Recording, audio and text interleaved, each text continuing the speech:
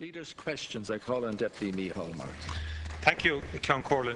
Taoiseach, last week I raised the issue of uh, home repossessions and mortgage arrears and the numbers of cases uh, coming before the courts. We now know that there's been about 7,000 repossession orders lodged in the courts uh, as of January um, of this year, uh, not to mind the over 8,000 um, last year.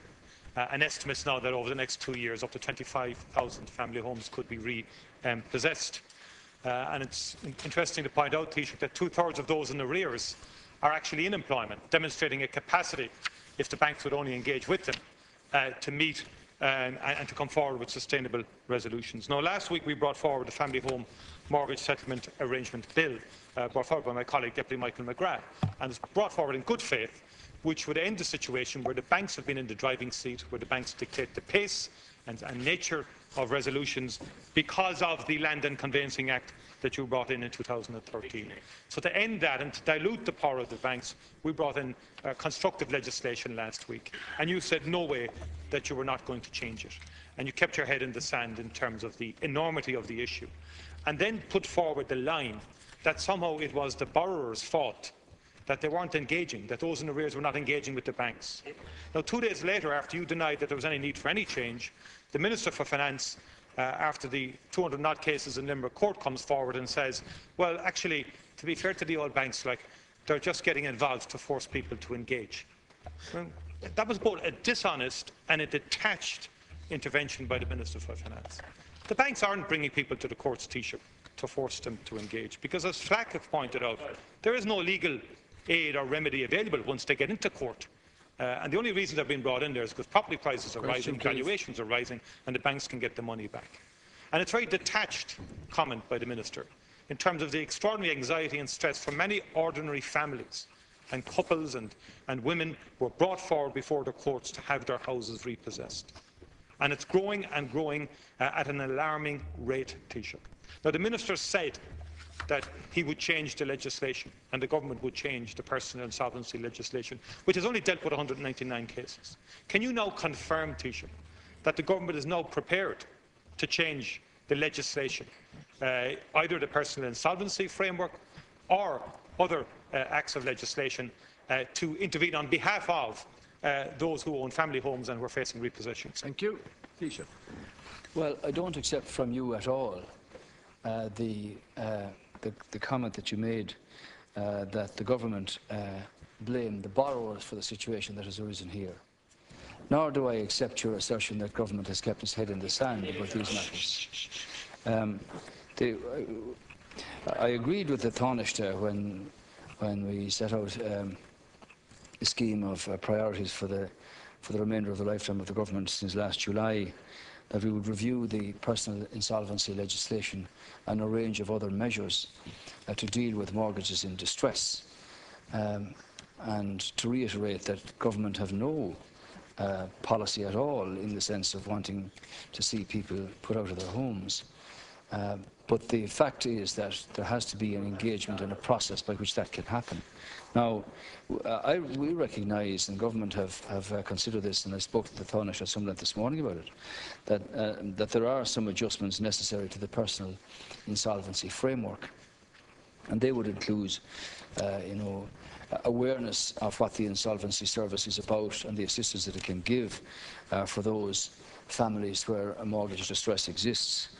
Uh, secondly, an independent audit of the, the quality of the deals that are recommended by the personal insolvency practitioners. And thirdly, uh, the, op the op options that are open to uh, borrowers where insolvency arrangements have been rejected by the creditors, i.e. the banks. Um, and uh, also the supports that are available to families who can't uh, measure or can't, can't even meet the restructured mortgages uh, to meet insolvency arrangements, of which there are a number also. Now, you're aware that 110,000 accounts were in arrears at the end of quarter 14, uh, end of quarter four uh, of last year, 2014, and that represented uh, a decline of uh, 26,000 mortgage accounts over, over the 2014 period.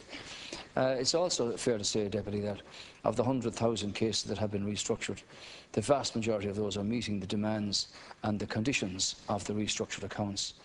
So I confirmed this morning, as did the Taoiseach, that the government uh, have almost completed its review in, in regard to these matters, and we will bring forward uh, a number of other measures that will complement the range of options that are there at the moment, uh, so that we can deal with mortgages in distress in April. Um, and that means that uh, government have looked at the, at the, um, at the workings, the effectiveness of, of, of the situation at the moment. We want to see the vast majority of people retain their family homes, and we will bring forward a number of other measures following that review uh, in April uh, next month. Thank you. Um, Taoiseach, uh, to be frank with you, it's a meaningless response. Um, you said adjustments and you named three items that are not adjustments. I mean, making people more aware of something isn't changing anything. Uh, an independent audit of how poor a system is working isn't changing anything.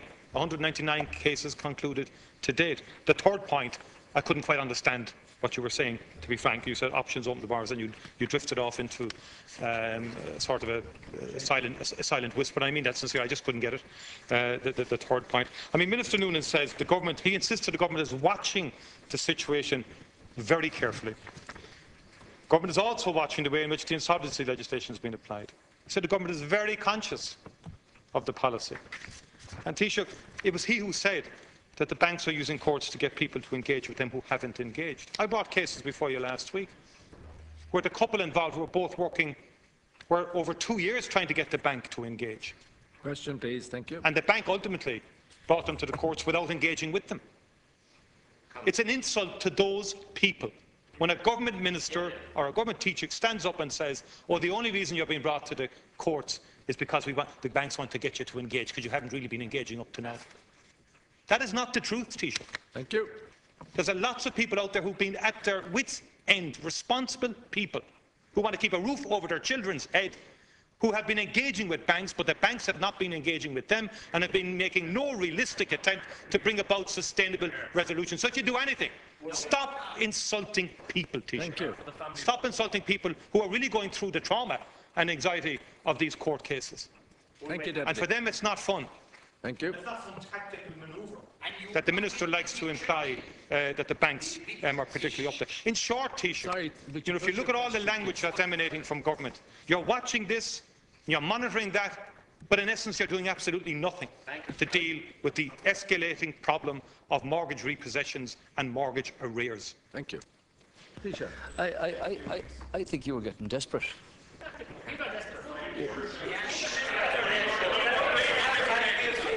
Every, It's not your as you see the uh, economy beginning to change, improve, uh, all you're left with to attack are the remnants of the disastrous policy that you followed yourselves. Now, when you say the government have done nothing, we actually have more options on the table for people in mortgage distress than most other countries. And the personal, the personal, the personal insolvency, the personal insolvency agency has not been dealing with as many cases as we would like to see. And contrary to your view, I think it's, it's very important that when people are in mortgage distress, that they should know the range of options and assistance that is there for them. I think it's also fair to look at the situation that has arisen, for instance, where people look for, for credit. And the Credit Review Office gives an independent view of that and has given directions to banks to overturn that. Uh, the Minister for Justice of the day. Brought in an amendment here that when cases would go to court, Perhaps there should be the option of having an independent review of the options put forward by the practitioner before a court case situation arises. I think that's something that we have to look at. And also, what are the options that are open to a family where the value of the house is written down to market value and they still can't meet those conditions? Now, these are real life conditions that were created by a government that didn't care. Now, you're down to the 37,000 cases over 720 days. We want to see the vast majority, if we can sort these out. So, far from uh, following your uh, assumption that nothing has been done here, we will bring forward another um, uh, number of measures to deal with these kinds of cases in the month of April. Thank you. And that's, and that's, uh, and that's designed, Deputy Martin, to help people who in their family homes are having a problem at the moment. Thank you, And it all goes back to your own outfit, which didn't give a damn about what they did.